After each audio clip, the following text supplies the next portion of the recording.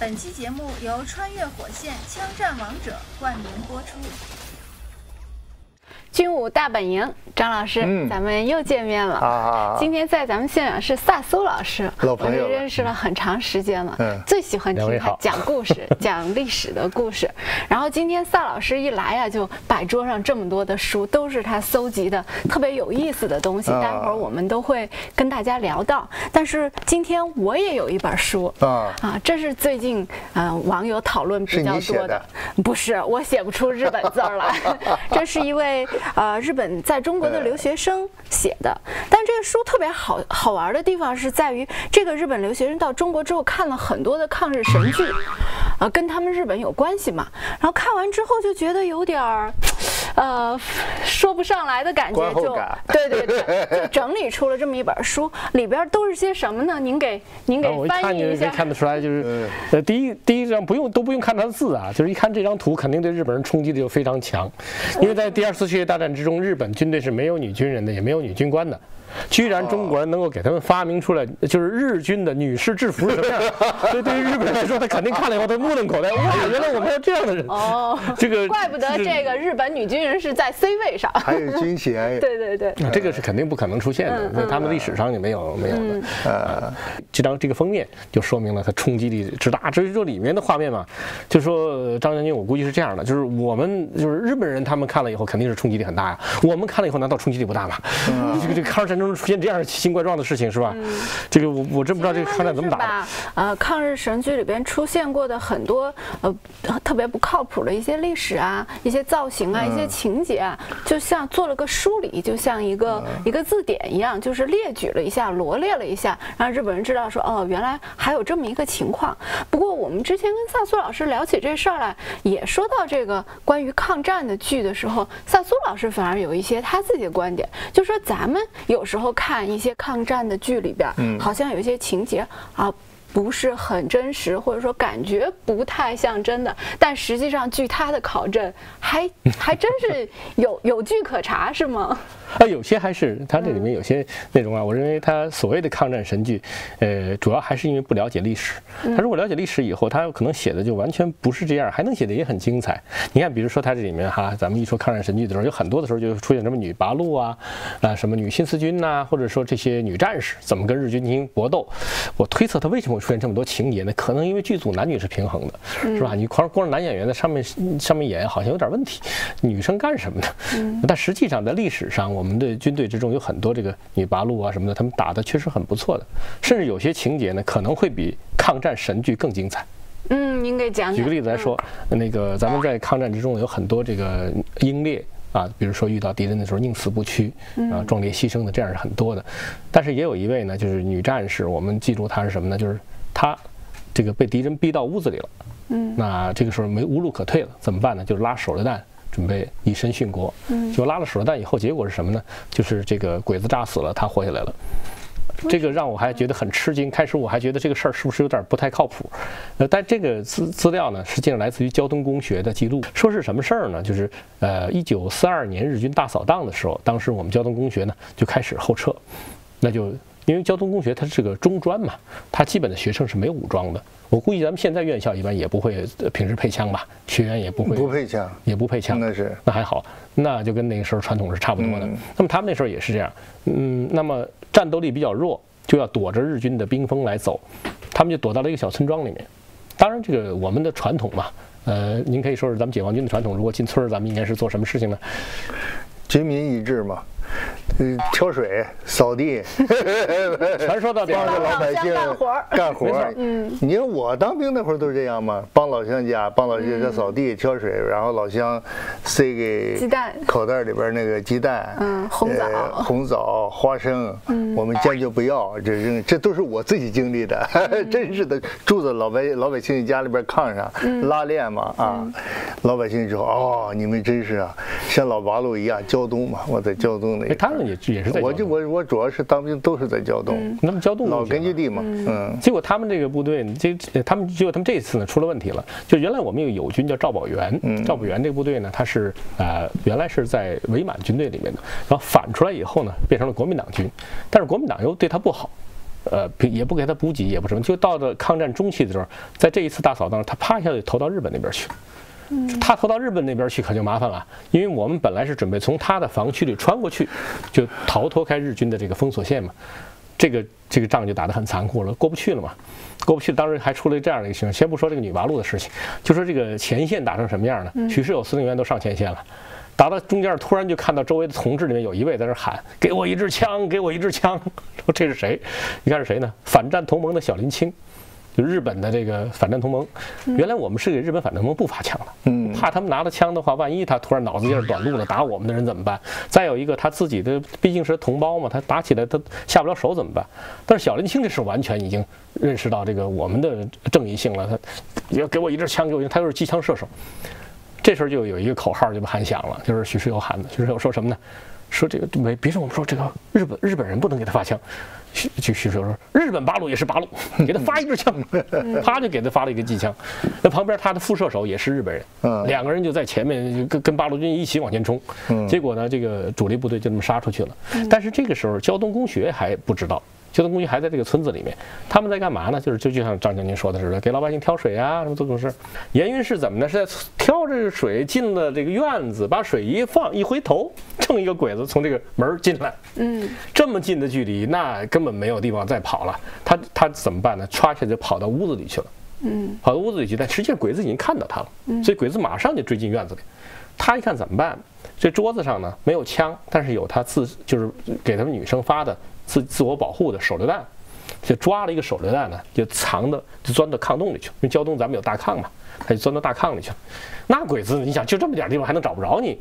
就开始就进来以后，好几个鬼子就开始找哪儿一看就在他他的炕洞里嘛。嗯。那鬼子就拿大枪就往那个炕洞里面就扎，嗯，扎他，然后那个要抓他，抓他，他一看就没办法了，说这个要是出去的话肯定没有好嘛。然后他也革命也很坚决，他就把这手榴弹一拉弦就自杀了。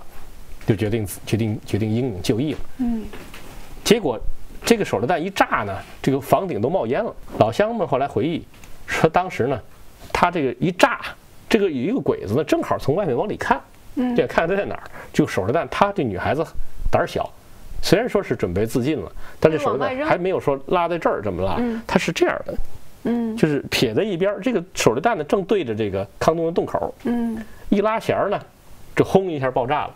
这鬼子在外头，噌一下把脸就给炸了。那炕洞整整个成了他的一个掩体了。嗯。但是实际上他自己也被炸了，这炕都被炸翻了。那么他就一下就就就就倒在这个倒在这个大炕的废墟里面了。就是鬼子就开始拨这个砖呢，就把他扒出来。扒出来一看呢，就估计他已经满脸是血嘛，估计他已经死了。但是鬼子也不饶他呀，就拿那个那个刺刀枪啊，就戳他。戳完了以后，然后鬼子才走。走了以后呢，这村子就被点着了。到了晚上啊，这个山上的这个老师们，就这么就下来救人了。没找着，没找着别人，就找到这个严云，倒在这个废墟里面，然后身上还都是血。哎呀，大家都觉得这个女孩子挺可惜的。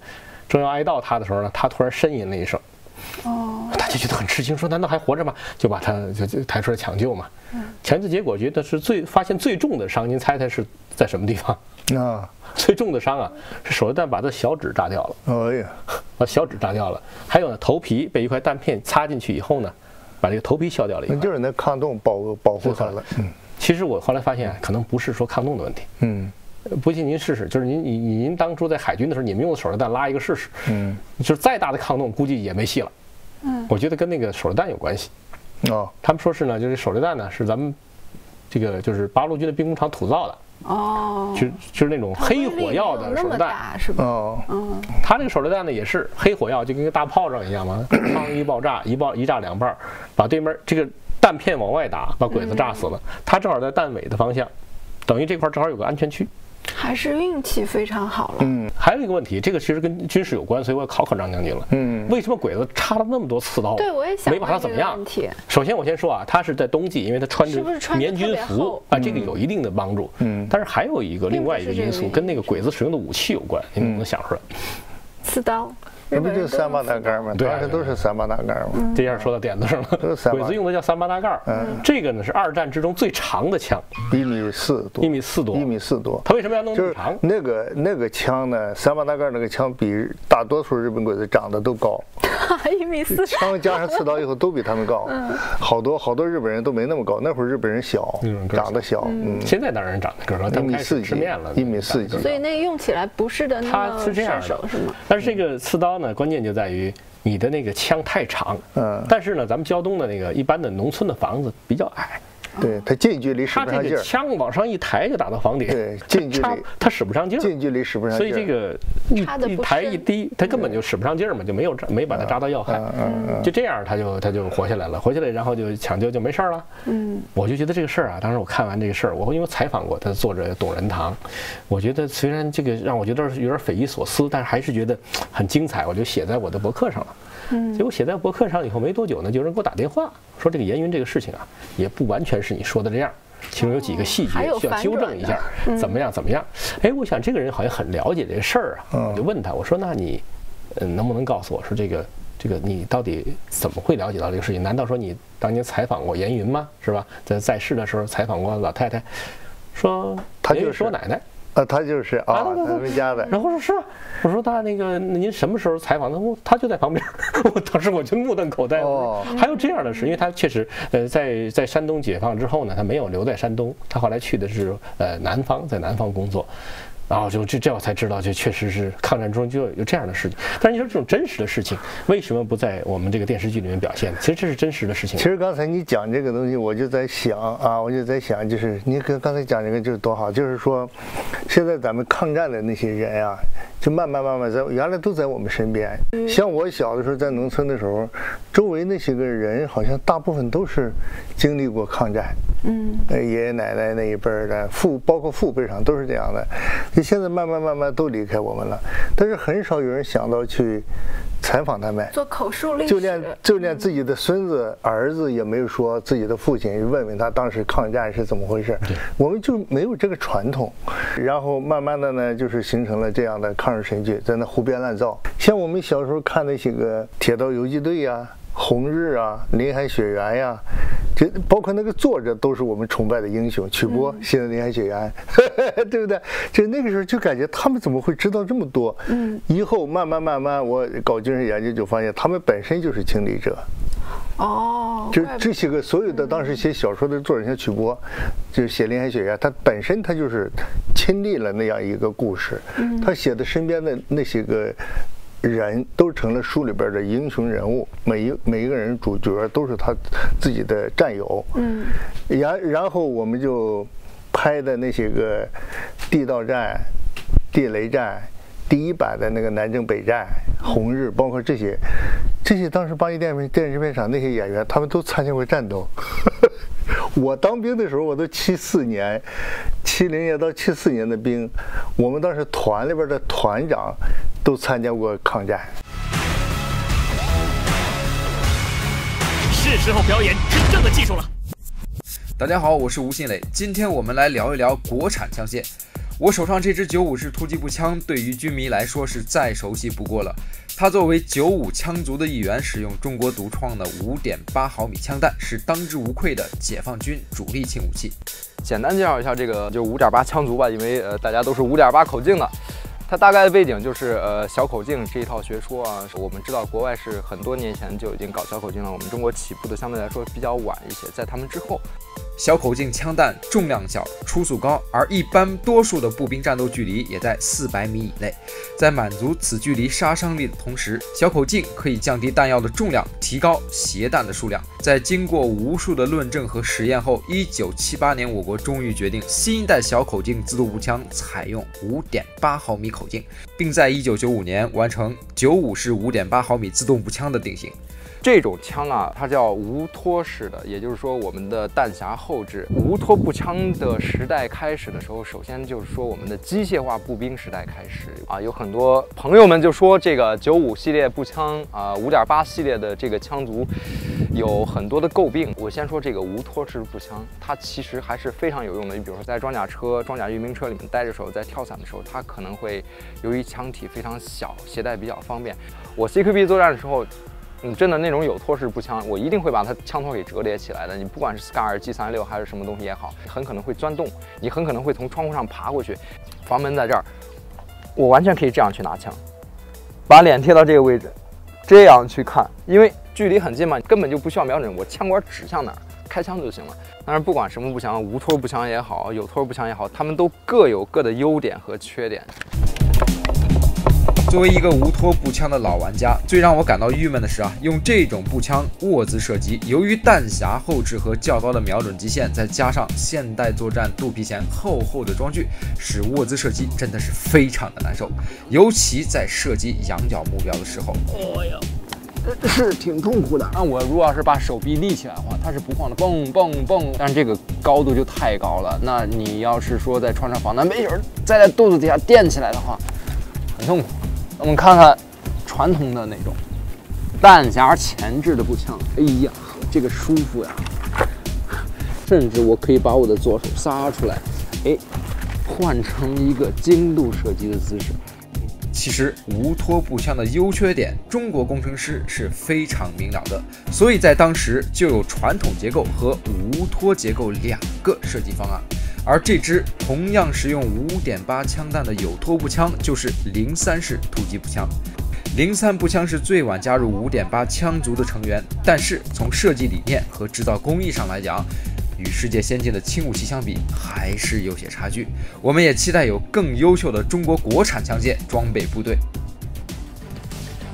如果朋友们想体验这几款枪支，马上下载 CF 手游，体验热血枪战，还有各种各样的国产武器，免费拿。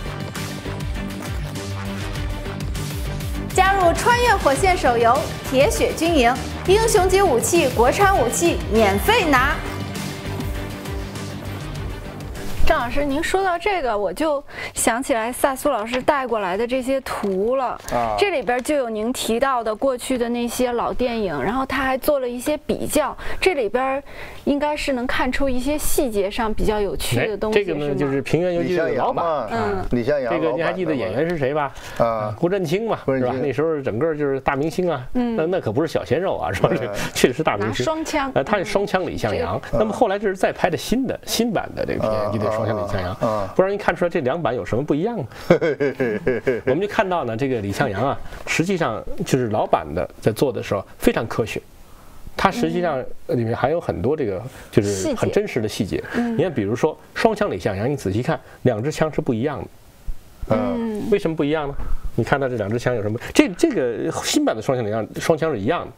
但是老板是不一样，嗯，你看到有什么区别吗？驳壳枪，一个驳壳枪，对，嗯，一个是二把盒子，一个是三把盒子，但是有个问题，一只是带准星的，一只是不带准星。这个枪没有准星，右手这支枪没有准，这是那它为什么呢？就是我们就想双枪李向阳这两支枪是干嘛的？对啊，那么人们就会说啊，肯定就是这样，两支枪来回打吧，然后我们想到这是剁排骨呢吧？这个，实际上这这驳壳枪真不能这么打。你看那个，他那个里面，不论是呃李向阳还是乔龙标，他打驳壳枪都是横着打的，这样打，哎，横着打的。他为什么呢？就是我估计张将军您平时呢，就是呃手枪射击可能也经常做，但是您可能对驳壳枪不怎么用它吧？因为这个早就没有多年了，早就没有了。这个驳壳枪啊，原来是世界上人都不要的枪，嗯，这是德国人造的一种枪。他怎么想的呢？他说，尽管是我造一支手枪，但是我能上二十发的弹夹。嗯，那打出来就是像像冲锋枪一样嘛。对，这个这个这个多好啊。嗯，那你们用手枪价格买一支冲锋枪，谁不愿意买？就全世界都不买这支枪，原因是什么呢？这个枪设计上有一个小问题，嗯，就是射击的时候它往上跳，嗯，就是你第一枪瞄的是正前方，打完以后呢，枪口往上跳了，第二枪再打就上天了。那你想这个，如果你这二十发打出去，咚咚咚，就你这是是打天上了，打天上去了，你根本就打不到对方嘛。结果谁买的？就是咱们中国人买。嗯，他这个德国人就想了说，你们中国人为什么会买我们这个破枪是吧？而且买这么多，那当然你你这个枪别人不买就便宜嘛。中国人买了好多这个驳壳枪。后来就问中国人说：“你们这个枪你们怎么用啊？你们有没有上跳这个？有啊。说那你们不怕吗？打不响？我们打得很好啊。说那你们怎么用？往自己翻就可以了。往自己翻，这个上跳就变成横着跳了嘛。嗯，那么我一扣扳机就是一个扫射，就是一扣扳机，它你说还正好就真是，原来这是一李向阳那会儿，种使用的智慧李。向阳那会儿使使用手枪还真是横着扫。嗯，我想起来了一些画面，电影里就是这样的。哎，对我还我还。但为什么没有准星呢？那么这两支枪就是两支枪，它为什么双枪呢？嗯其实一支枪和两支枪效果差不多。那么真正实战的时候，这两支枪作用不同。一支枪带准星的，这是用于远战的，就我刚才说，比如横着打，这样是干这个用。那么另外一支枪战嘛，就是近战、近战，在在极近的距离之内交战，因为要拔枪快嘛。你想，如果要是说你这个，它叫呃驳壳枪，还有一个名字叫盒子炮，它是装在一个木盒子的里面。如果真的狭路相逢，比如说我跟张宁，我们俩人狭路相逢是对手的话那么要我要拔枪的话，要几个动作呢？我要先摁黄，然后开盒，然后取枪、开保险、射击五个动作。嗯，但是八路军他为了能够简化这个让它快嘛，他就不要这个盒子了。这个枪呢，直接就插在腰带，插在皮带上。你要看那个平原一队，李强的枪就是插在皮带上。那么如果碰到敌人怎么办？没有说摁黄开盒，这都不需要了，直接拔枪开保险射击。嗯，这马上两个动作就可以就可以完成了。那如果敌人还在这儿开盒子的时候，他肯定就被打倒了嘛。嗯，因为就为这个原因，他这个枪呢就把准星锯掉了。那为什么要锯掉准星？因为你在插在腰带上嘛。如果你要往外拔的时候，碍事。你要要对你要有你要准星的话，你就卡在皮带上了。但是这支枪就因为没有准星，它已经不能瞄准了，所以呢，它还需要另外一支枪有准星，以便在远距离能跟敌人进行战斗。这样的话，才出现了所谓双枪李相其实它就是，其实它就是一个很合理的一个火力的运用。两支枪，有一支枪是用来呃远距离，比方说五十米、一百米、一百米、五十米到一百米这个距离上进行瞄准。远距离的时候，我就可以精确的打击敌人，点杀伤。如果跟敌人在五十米以内、十米、二十米，它就可以扫射。嗯，就是火火力上就是点面结合、远近结合，使它的杀伤威力达到最大。它其实起到这样一个作用。那个八路要是跟抗联碰上啊，他们还会有有较量的，他们之间会说说你看看你们八路，八路说你看我的枪就是插在腰里面，一拔就出来了，我没有准星儿是吧？嗯。然后抗联会给你看我枪也没有准星儿，但是我不是这么插的，嗯，他他的枪是放在哪儿呢？倒着插在后背上，两腰带上，从下往上插倒插。啊，为什么倒插？因为它跟那个八路军作战环境又不一样。八路军作战环境，比如它经常是跟敌人狭路相逢啊什么的。那个抗联它是经常在，比如说它还不是这个，不是滑雪它通常是什么呢？它有的时候是要在敌人，比如就在镇子里面嘛，嗯，都是跟跟鬼子可能会在很近的距离内，它是化妆的活动的。嗯，那化妆活动的时候，他们怎么活动？东北人就穿叫有个皮大衣嘛，他披这个皮大衣，双手背在后面，其实就是双手握着枪的枪把儿。他在比如说在走跟人接头，那么这个时候你从前面看，他一点儿一点儿武装都没有。也是一种哎伪，装的这是完全是伪装，但有一个问题，比如说一旦被人抓，比如说这个鬼子觉得他可疑了，靠这怎么抓他？不是从背后砰这么一一边抓他吗？嗯当你这么一抓他的时候，衣服不要了，就外套就扔给你了，但是这枪从下面一拔。这拔起来的时候，这个枪的这个大机头啊，也就是保险，在大腿上一蹭就开了，直接开火。所以这个是他的他的绝活儿。但是后来我们就问说，这个如果不用驳壳枪，你们怎么打？那有一个老有一个老八路就跟我讲，那是后来到咱们北京市公安局了，那个哦有叫王牌金牌侦查员王。我打枪，我说那我们那他用的是撸子枪，撸子枪就不像那个咱们这个这个驳壳枪，它会上跳。撸子枪呢，就是容易往下扣，因为撸子枪比较轻，在你射击的时候呢，你看我张将军他们经常做那个手枪射击，可能了解，就是你要是扣扳机的枪要不是太好啊，它自动往下低头。嗯就你扣的时候，你手往里一扣的时候，实际上你的枪头会稍微往下低一点。你瞄的是十环，当你一扣扳机的时候，就打到九环或八环去了。嗯，那么他怎么解决这个问题呢？他说我我就没这个问题，他说我是我是无意识击发，嗯，我是要甩枪，从上往下甩，甩到哪儿我这手啊无意识的碰到扳机，砰就响了，所以我是无意识击发。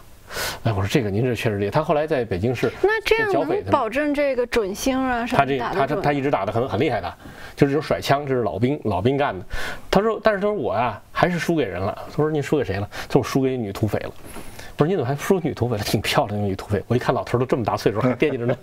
说起来什么呢？还还把这个漂亮着重的强调了一下。其实他是这么回事儿。那时候呢，就是山东嘛。那那张军，您在山东待着，您有没有有人说法？有没有叫 胶东姑娘一枝花？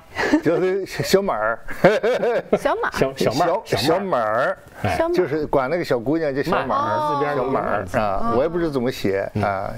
但是胶东姑娘呢，都长得漂亮啊，个儿又高，然后那个长得脸也白，好看嗯。哎，这个女土匪就是这样一个，她呢是什么呢？就是他们这个山寨啊，整个全投了八路了。但是我们八路军是跟一般部队不一样的，不是说你收编了就完的，我们要改造你呀、嗯所以呢，我们这个呃这那个这个王老呢，他是奉命去改造这个这支部队的。那么改造的过程之中呢，这个女土匪对他很很有意思，因为他外号叫活宝。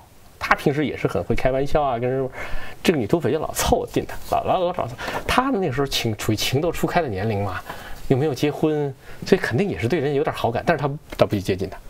嗯后来我就问他说为什么？他说成分不好，说 这万一就是有事儿了怎么办？是吧他他他很有政治觉悟。对，那这个女土匪就老想靠近他，跟他说话，他也不理我，是吧怎么办？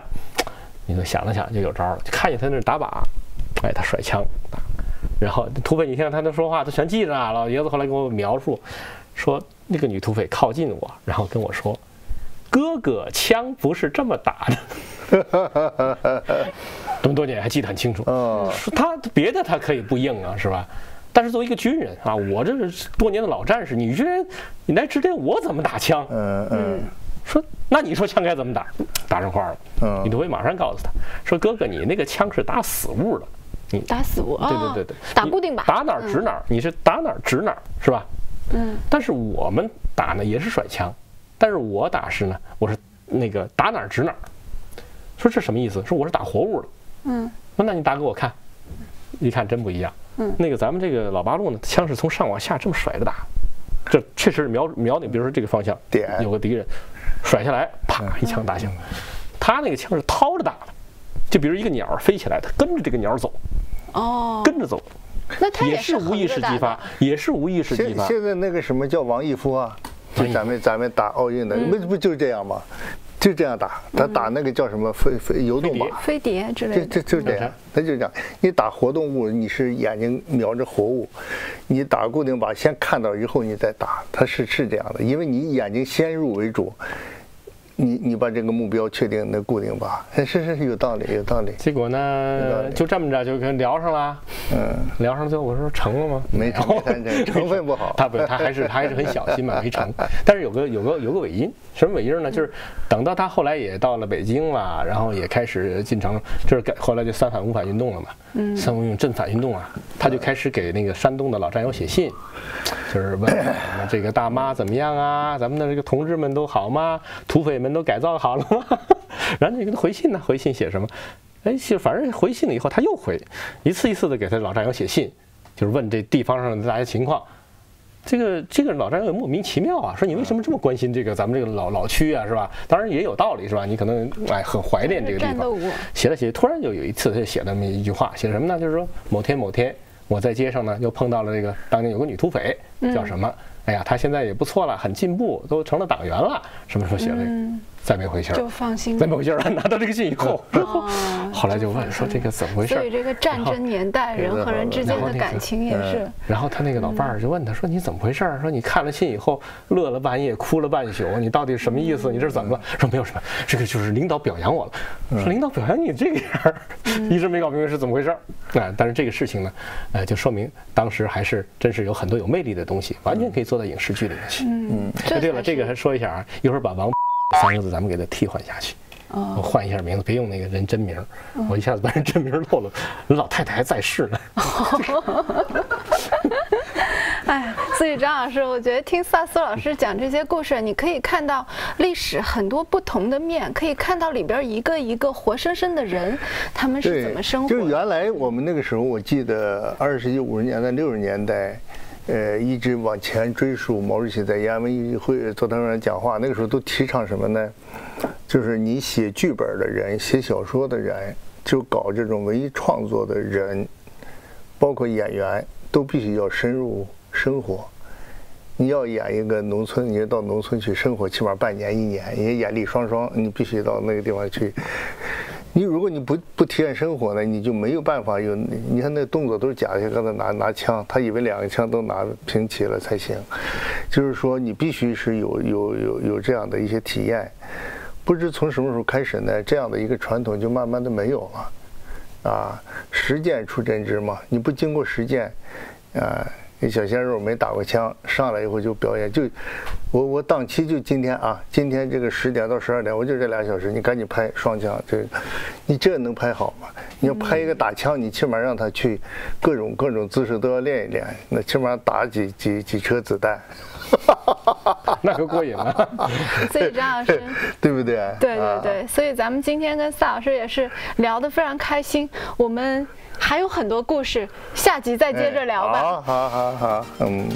关心军事的人一定要关注“军武大本营”微信公众号，在这里有局座张召忠和各界大咖谈笑风生，有著名军事评论员每日点评最热新闻，还有特种兵吴兴磊上天下海，带你了解最专业的军事常识，以及最新最火的各项军事展览盛会，这里都独家全纪实报道。现在即刻关注“军武大本营”微信公众号吧！打开微信，点击右上角加号，选择添加朋友，再选择公众号一栏，输入“军武大本营”就能加入我们了。